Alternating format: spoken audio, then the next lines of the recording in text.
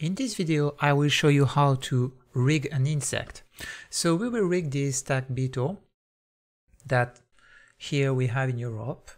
Uh, sometimes I can find it uh, in front of the trees not far from home. So you can see uh, this model is fully textured and uh, has proper shader for Eevee and cycles. You can use it uh, as uh, you want for your for your purpose, your projects or whatever. You can see that it's fully here quads. So yeah, nothing to worry to worry about. Good quality you do what you want with it after. Um, what we would like is to rig and start to animate. So maybe I will make two videos about that. The first one will be about rigging because rigging it's already a little long. And then after we will uh, have a look on uh, how to make maybe a walk cycle with that. Something a little realistic. Uh, now let's come back into the normal shading over there, view shading, viewport shading, and here I will deselect my object with A, and in object mode, I will just be sure that I will have my cursor in the center with Shift C. You will can see the shortcuts that I will make during the video here, and I will add here just an armature single bone. Okay, so by default you have a single bone like that. Uh, that is that you cannot see over the mesh. So just to put it uh, with the good visualization, you go into the viewport display and you enable here the, where is it? Viewport display in front, okay? And like this, we can see uh, directly over the mesh. So what we will do now, we'll create the basic shape, uh, yeah, of the spine uh, if we can call it a spine. I don't know if insects has a spine, but we will create one. We'll go in edit mode with tab and then just with R and G we will just put our first bone over here. Okay, so it will be the master of everyone, this one. And we will put it over there until the joints that are already into the model. Then I will make just an extrude and have here the, the head then I will come back to that one and then extrude over there to have the entire abdomen. And uh, then after, what I would like to do is to add here the bones for the legs. And uh, to do that, I will use the mirror, the X mirror option into the armature itself. And to use that, you just have to go there and use the X axis mirror over there. Then after, I will need some joints, one that will go here, so starting from here, one that will start from here and one that will start from here. So what I will do to do that, uh, I will just subdivide my bones by just clicking on it and make a subdivision like that, a right click subdivision, and I will put two subdivisions like this. I will go into side view and just with G, I will just put it above uh, this joint over there, around, around there. And the same kind of uh, moving over here, okay? And we will have uh, now what we want. I would like a subdivision here as well. So with right click subdivide, I will can add a subdivision as well over there. Then I will, so I did never enable here the x-axis mirror. Now I will just can select here the joint, go into top view over here. And what I will even do, I will put my object in the center here. And by going here, I will search that the cursor become, become a cross. And when it's become a cross, you can just uh, do a right, left, click and drag like this. Okay, and you will have a double view like that. So what we want here is to have the top view, and here we'll have the side view. Uh, here the top view with 7 and here the side view with 3 numpad 7 numpad 3 and when you want to make an intersection here with x and y axis mirror uh, into the x-axis mirror you just do a shift e instead of doing e. Shift e will make you an intersection like that okay?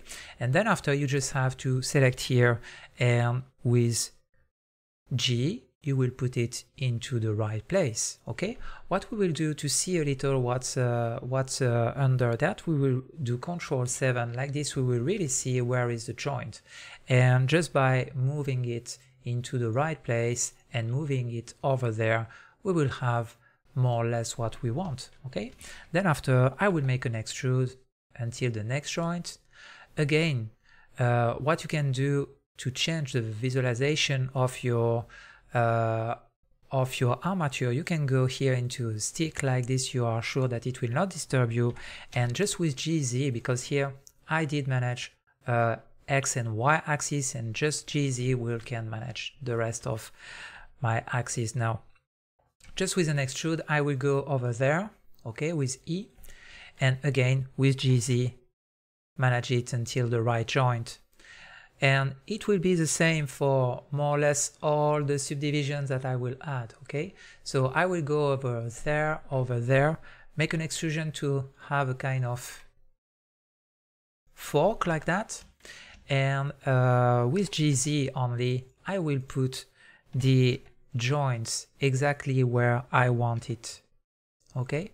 This one will need a subdivide so I will just subdivide it okay and I will make a GZ again. Good. This one is not in the right place. This one will need a subdivision as well. So it's not W, uh, sorry, it's it's the 2.79 shortcuts, this one.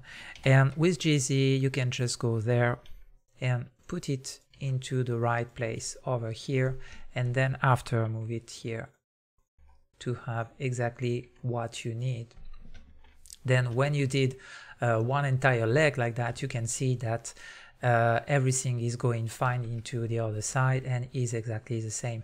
And we will do more or less the same for all the legs. So let's do a shift E again to make the first intersection. With GZ, we'll just go into the right place over here, somewhere above around here, another extrude until there, another extrusion until there, and then extrude, extrude, etc., etc. You know a little the process already.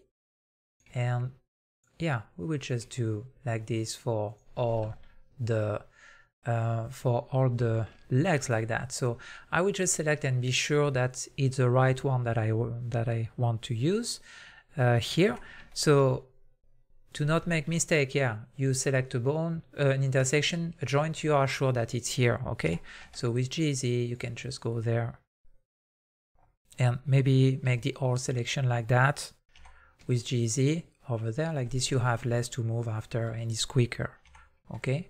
So just put everything inside the right place, okay? Just with GZ each time and like this you are sure that you are good to go and that you have uh, more or less what you want okay? Good. Now we will make exactly the same for the last leg and uh, we will be we will be good to go. Shift E to make an intersection again. With GZ we go there okay? When you know the process for one it's not crazy to do it for all the rest. It seems quite simple and uh, then after we can go through until we have everything ready. Again an extrusion. Then I have everything that I need. Everything is flat here so I will have to manage it with GZ as we know a little already with B I select all this part. GZ I put it down into the right average and then we are okay to continue that. Okay? So don't hesitate to go a little faster into the video if it seems a little boring because it's a make it's the same process for all the bones and all the legs. So it shouldn't be a problem to reproduce that for you. It's quite easy. Now uh, we have the antennas, we have the kind of yeah big shape here to that we have to rig.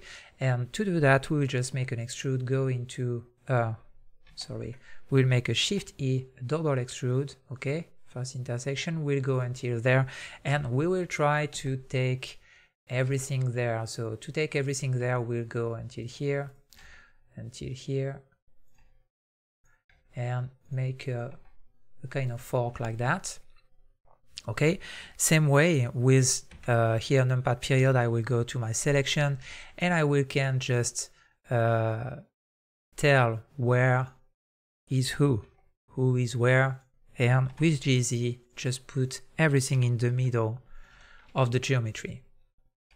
Okay, so this one has to be here. You can turn around a little to check if everything is right. Okay, so with all of that, maybe this time GZ go into right view. This is what is good is that when you made everything in top view or into uh, into the bottom view as here, uh, you can just after adjust it, adjust it into one angle. And here I just only do GZ on that side when I'm in uh, side view. Uh, yeah, side view like that. Okay, and I will do the same kind of process for here, the kind of, I don't know if you can call antennas here. It's more or less this. So with Shift E, I will make a double extrusion, go into the base of this and make an extrusion, an extrusion and an extrusion. Okay, good. Then here seems into the right place, more or less, just a little. And then after we just manage, manage the joints. And when you do this, you are sure that all the joints are well into uh, the three angles and you are sure that it will not cause problem after. So I just take the center here and with shift E again, I go into until there to take the shape of this kind of antenna that we have here. So a lot of little bones over here. With G, I can manage it like this. Okay, make an extrusion again make an extrusion until here maybe ah, I will even do something like that to be sure to take everyone there and to not have too much problems after okay so don't hesitate to have to add some joints uh, enough joints to uh, to take well the geometry inside. Sometimes what you will do is that you want to simplify your uh, your bone system or things like that. And yeah it, it can be good but uh, in some cases after Blender doesn't take the geometry. And uh, I will show you that it's sometimes easier to add bones compared to paint, uh, weight paints and I will show you that just after. So here again with GZ we just can manage like that. Okay, so here where is that one? Okay, it's the two here. So with GZ I put it here and this one here. Okay. And we continue the process just of moving the right joints into the right place.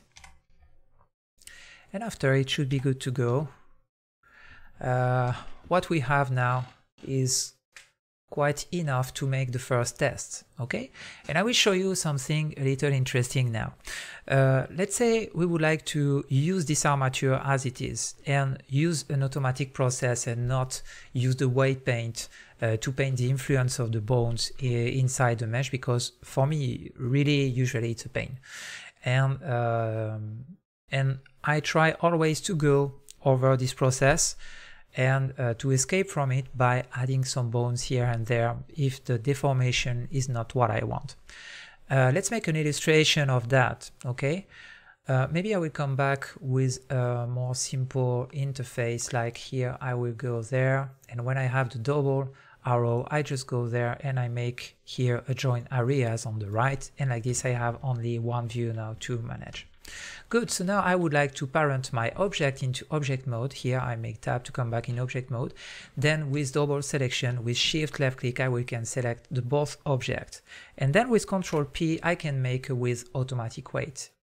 Just before doing that, uh, be careful of one thing, is that here into the item section when you select your object here has to be 0 0 1 okay? Uh, it has always to be like that. It means that your object is in the center no scale no rotation. And to be sure of that uh, if you if you have some uh, localization or rotation values here, you just make here Control A and you apply what you want to have here uh, this at zero.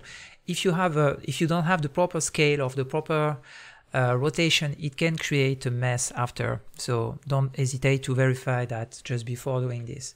Then after you go back into your here armature and with control tab you can access now to a new po to new mode it's the pose mode okay and when you do a rotation you should have the deformation of what you would what you want so it seems that for this space for example we have some deformations uh, some extra deformations that we wouldn't like to like for example here the shell of this space of the thorax uh, creates a problem when I make a rotation like that. So more or less we have two solutions to manage that. Um, the solution that is painful, really painful in Blender, uh, I would say, here it's uh, to go into the mesh here with Control Tab, uh, you go into the mesh and then you go into Weight Paint, okay. And then you select uh, your bone the bone name that you have here over there into uh, the into this one. Like for example here you can see uh, the influence of some bones over there. So we have a lot of bones here, like for example that one. That one is not really a good example, but this one is a good example. Like for example here it's that bone and it has some influence as well here. So I will have to go into the paint here, options and uh, enable here the tools and uh, select here the right tool and yeah make exactly the same into the other side for all the bones it will be a pain, a lot of time uh, to spend on that. Uh, usually I prefer to use something a little quicker and a little more efficient. Uh, what I do usually, I add some other bones, okay, to escape from that. So I come back into uh, object mode and I, what I will do, I will add some bones that will take uh, what this one, for example, here doesn't take. Uh, this one shouldn't take here this space okay? So I will add a bone until there like this another bone will take it. And uh, and these bones after if it's too much into the interface we just have to hide it and uh, like this it will not disturb us into the 3d view too much. So basically when you see that when you make a rotation like that it deforms the head or uh, when you make a rotation of that one it will deform all the shell here uh, it just needs sometimes just some bones. Uh, it's quite easy and simple to add. So let's go over there and uh, we'll go into edit mode again into uh, our uh, just in pose mode we select everything and make alt R to be sure that we don't have any rotation on that we go into edit mode and we will add the bones that we need now so uh, more or less it will be simple I will just add from this from the center over there. With Shift E, I will just have a bone, add a bone here and make an extrusion over there and make an extrusion over there, okay? And like this, it will take well the shape of the shell here and it will not disturb anymore the other. Then again, from this one, I will make an extrusion here and an extrusion there. Uh, sorry, just a Shift E here, sorry, and an extrusion there okay to have another uh, shape like that then again here from here on top view I will make a shift E and it will go until here. And like this I'm sure that this bone will not take uh, this uh, space now. I'm sure that this one here will not take the space here okay? So just be sure that it follows well the geometry and that you are well inside and like this it should be uh, it should be enough. There's, there's bones to, to not create a mess into our, our rigging system, we'll just hide it, hide them after. So let's continue this kind of process by just make an extrusion, oops, sorry, a sh shift E here over there and a shift E over there as well, kind of cross shape here, okay? Then here we will have the same kind of situation, we'll make just a, an extrusion over there and just a another extrusion and maybe another one okay to have uh, where the shape of the head So maybe what I will do here, I will just put it a little up like that. Okay, like this it should be okay to take uh, everything here, I guess. Uh, we will see that in the next step. I hope everything, everyone is good in the right place. Maybe with that one, maybe a little cheesy to put it well. And yeah, it should be enough, I think. We will just check everything now. So what we will do again, we go into object mode uh, here with control tab. And then after we select uh, our object and then the armature and with control P we remake with automatic weight and it will remake the weight for the weight for everyone here. So now I can check and uh, go into pose mode again and make the proper rotation that I want and you can see that now the shell is it doesn't here move anymore and it doesn't have any bad deformation like before okay here again it works pretty well compared to before. It doesn't deform too much the head as well. Here it was good from the beginning. Here it was more or less good. Even here maybe sometimes you could, but yeah, more or less this one we don't have too much to worry about. It works pretty well. So uh, that's it. Just check everything into everything that you should move into this armature if it will deform correctly more or less and uh, then after we just have to uh, be sure that it will be good. For the rest we will just hide everything that we did add just now. So we see I will just select all the bones that takes a lot of uh, space into the interface let's say. So this one this one should be take it as well and I will just not hide it with H but put it into another layer, into another bone layer. So with M I will go there and go into this layer and like this my interface is clean but uh, the deformation is still the same. I can enable the layer that I want here. So here is my hide it uh, ones and here it's my global armature. So for now, uh, we have a proper armature that is ready to use, but it will be a little tricky to manage this as an animation. And we would like maybe to make some, uh, to add some constraints into that. So to be sure that I will just have the right constraints, maybe I will just put, uh, I will just put some bones yeah, I will do this later. I will hide more maybe after because this takes a lot too. But uh, for now, let's just focus on what we have here. So I will add some constraints that will help us to manage the bones for animation. Like for example, here, if I want to move my leg properly, uh, his leg properly actually, uh, here it will just I just have to make this and then after maybe make another like that and make after another like this and another like this and another like this and another like this. Me, I would like to do this. It was, uh, so it was uh, five actions to do this kind of shape, okay? And I would like to do this into two actions in, in instead of five. So what I would like to add is some, uh, I just make Alt R to put back everyone there. Uh, I would like to add here a controller that will help us to manage uh, the legs like a puppet like a puppet a little okay? It's just like you will have a controller like you have a puppet with uh, some controllers with some uh, some wires into uh, yeah into uh, an articulation into a joint and you will just manage it like that. It will be more or less the same process that we will try to achieve here. So it can be a little tricky for people doesn't know anything about um, about uh, this kind of constraint, but I will show you how to do that. So how to manage well some constraint. We will use uh, two kinds, yeah, two kinds of constraints during uh, the constraints uh, session that will start now. We will add some inverse kinematic, and I will explain you what it is, and we will add some copy rotation. So more or less an invert kinematic, what is it? What is that?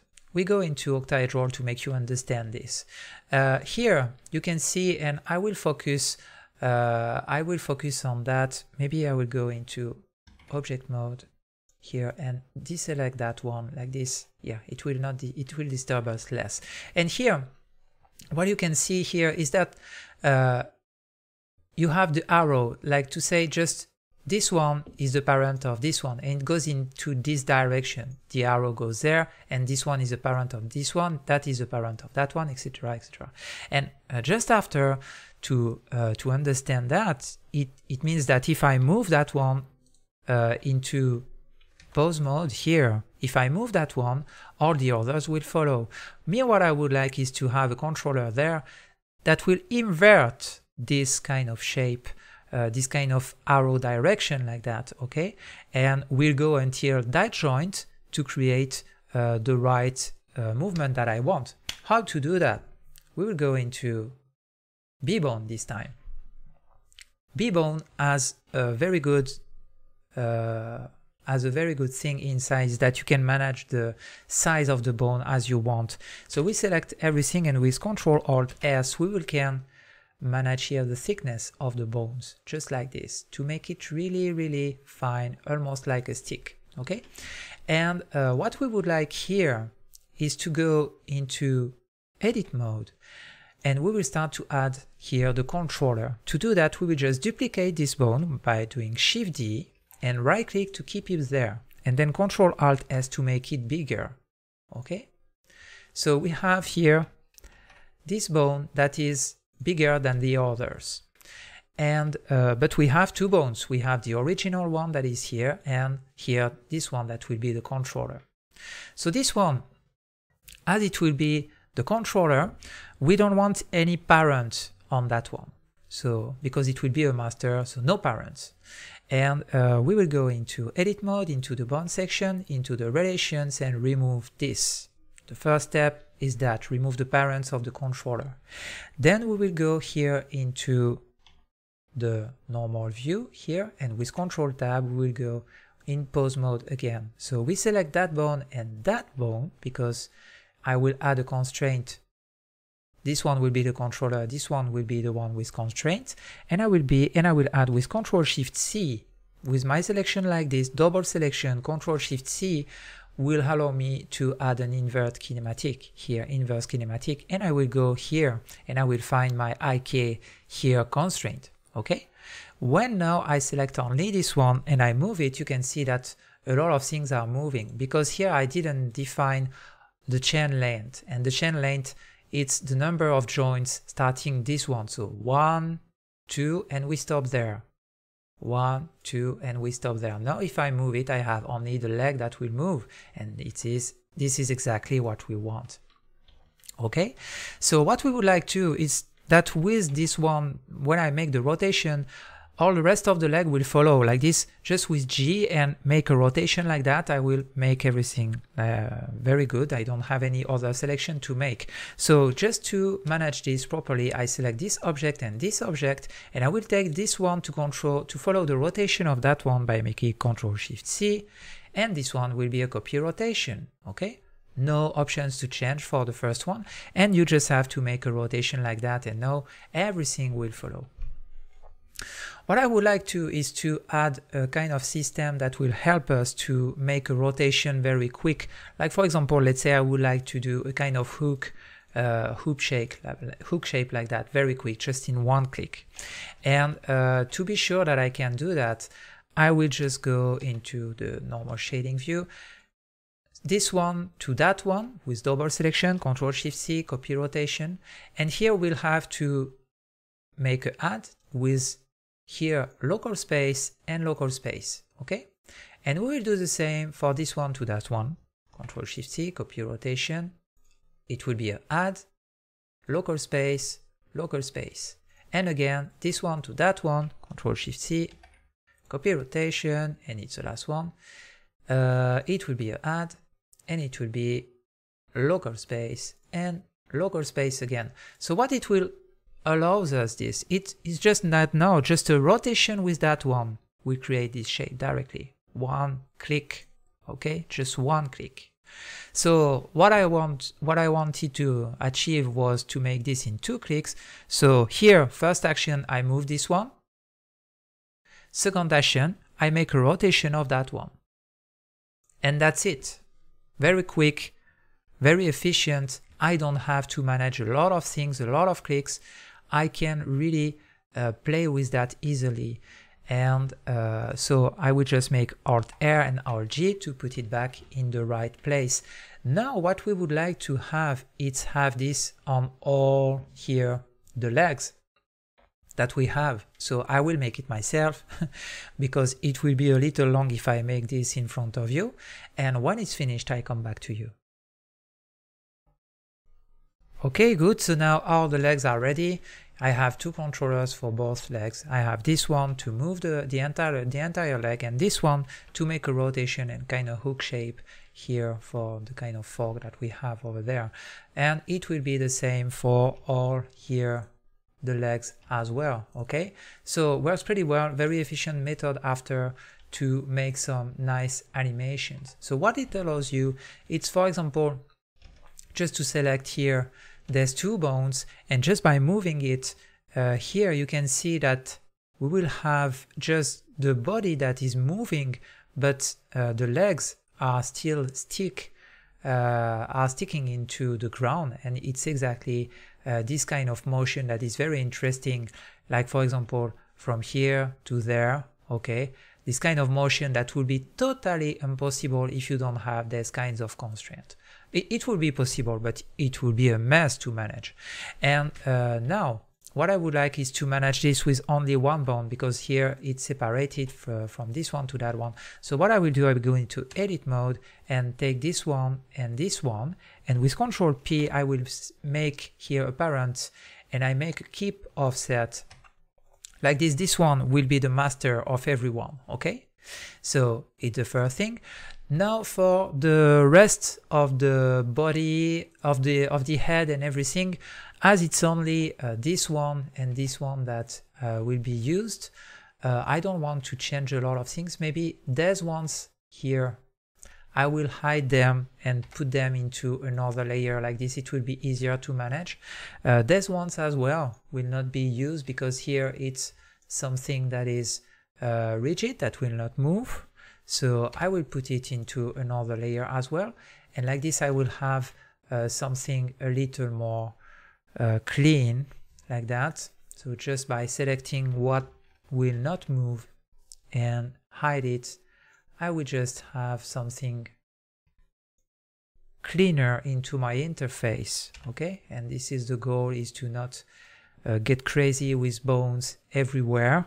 So with M, I put it here, on that one. And now we have even this one, I will not use it, this one. So all these ones here over there, I will not use it. Uh, this one too, I cannot deform. Normally, all, the, all of this the shape will not deform, so I will just move this into another layer. This one as well, normally I don't use it, okay? So this one to manage the shape of the head. Ah yeah, I wanted to do something, so I will go into the armature, enable the two layers, Ooh, select these ones here, make control alt s to see a little what we have okay? And i would like to parent them into that one here. So this one at last i go into edit mode make control p and keep offset okay? Like this just by make a rotation of that one it will move all the head just like this without any deformation. And again uh, what i don't want to have is some uh, lines everywhere like this so uh, just to be sure that I will not have them, I will go here and uh, it will be that one, sorry, and I will just disable relationship lines just like that. So like this, I have this one to manage the abdomen, okay, this one to manage the entire body. Then I have the control of the legs that I did show you already, and then I have this one to manage the head as well, okay, and there's ones to manage here all the rest of the shapes here okay so uh, that's it for the basic things. I would like just to add a final master bone uh, that will just uh, be the parent of everyone. And for this, I will go into edit mode. Be sure that I have this in the center by making Shift C and I will just add with Shift A, it will add me a bone directly. And I'm in edit mode inside my armature. Let's be clear. And uh, I make R 90 degrees just to put it here near the near the ground and with control alt s I make it a little thinner just like that so this one will be the master and uh, all the controllers here and the master of the body that is here okay will be parented to that one and I will make a control P uh, not a control P into pose mode, but control P into edit mode, like that. And I will keep the offset as well. Like this, if I select this bone now, I have the possibility to move it. So really uh, something really easy to use after because you just have to take the controllers and to make just a, a kind of another pose like that. Uh, it will be easier to manage. Very easy you just have to play a little with it to be used uh, on all the on all the controllers and uh, you will see that it's quite handy because for example if I want to put these two up very quickly I have the shape that I want if I want to make the kind of motion that it's there is a weight over that uh, I just have to make a rotation little rotation over there and yeah it will give uh, something really easy to use. Same for that one. If I want to uh, make a kind of motion like this, I can. Things that I that I didn't, it, it was impossible to make before. So uh, really a good and interesting one to use. And I really recommend you to uh, to be used of this kind of techniques if you want to have good riggings after. So let's say I would like to open this. What I can do too is when I have uh, something that I like, I just make a Control C and Control Shift V and uh, it will just open it like this, okay? So here it's kind of maybe a rotation over there and Control C, Control Shift V. And here it's kind of, uh, yeah, fight mode, let's say. Okay, so he, he wants to fight over there. Yeah something like that. So he's not happy. He wants to buy he wants to buy something. And yeah uh, that's it for this rigging over there. Uh, in case you are interested in more trainings or more tutorials don't hesitate to have a look into all my videos. But over there recently I did release a full a full training to show you how to model this model this beautiful rifle. Uh, it's with Blender and Substance Painter, so you will see all the all the process and the workflow uh, from beginning to the end. And just to uh, to be uh, yeah be aware of that. If you want to have a look at it, I just put a link in uh, into the video as well. So that's it for this video. Into the next maybe a video uh, I will make an animation and show you how to make a walk cycle with this stag beetle. So thank you to follow this tutorial. See you soon.